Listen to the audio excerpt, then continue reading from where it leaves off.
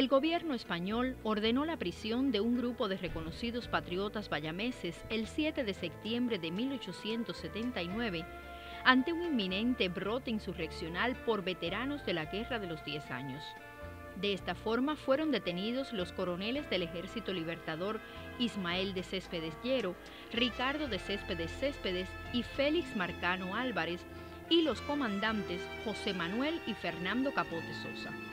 Después de tenerlos encerrados en la cárcel de Bayamo durante dos semanas, el 21 de septiembre fueron enviados al castillo del Morro de Santiago de Cuba y de allí deportados a las Islas Chafarinas en las costas de África.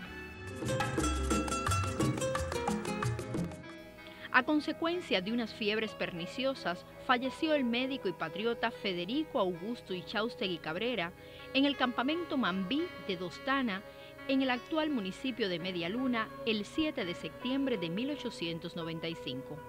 El doctor Ichaustegui Cabrera acompañó al general Bartolomé Mazó en el alzamiento patriótico de la finca de Bayate el 24 de febrero de ese año, dispuesto a luchar por la definitiva independencia de Cuba. La labor del prestigioso cirujano era valiosísima en el campo insurrecto, curando heridos y atendiendo enfermos en los hospitales. Por sus méritos revolucionarios, Federico Ichaustegui alcanzó el grado de general de brigada del Ejército Libertador y se desempeñaba como jefe de sanidad de la división de Manzanillo. Después de atravesar el actual municipio de Río Cauto, las columnas invasoras número 2 Antonio Maceo y 8 Ciro Redondo, dirigidas por los comandantes Camilo Cienfuegos y Ernesto Che Guevara respectivamente, el 7 de septiembre de 1958 penetraron en la zona de Jobabo, al sur del municipio de Las Tunas.